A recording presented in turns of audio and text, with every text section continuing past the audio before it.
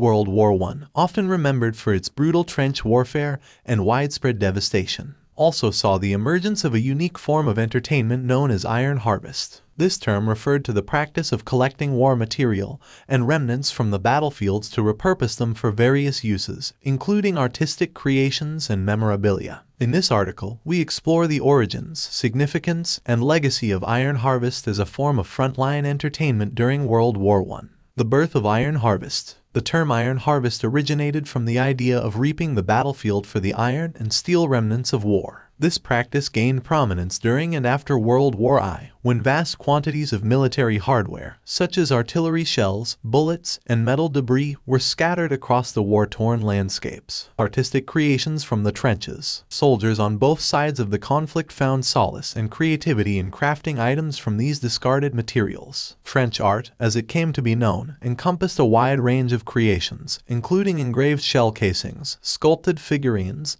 and even intricate jewelry. These pieces served as a form of expression, offering soldiers a means to channel their emotions and pass the time during long periods of trench-bound inactivity. Memorializing the war. Many of the works created from iron harvest materials were imbued with deeper meaning, serving as poignant memorials to fallen comrades or as tokens of remembrance for those who returned home. These pieces often featured intricate engravings, inscriptions, and symbolic imagery that conveyed the personal and collective experiences of the war. Souvenirs and keepsakes. Iron harvest items also became sought after souvenirs for soldiers and civilians alike. The repurposed war material served as tangible mementos of the war, allowing individuals to connect with the experiences of those who had served on the front lines. The legacy of iron harvest. The tradition of iron harvest continued after the war as communities and individuals continued to salvage materials from the battlefields. Many of these items found their way into museums, private collections, and memorials, serving as tangible reminders of the sacrifices made during the conflict. Iron harvest and trench art represent a poignant convergence of creativity, resilience,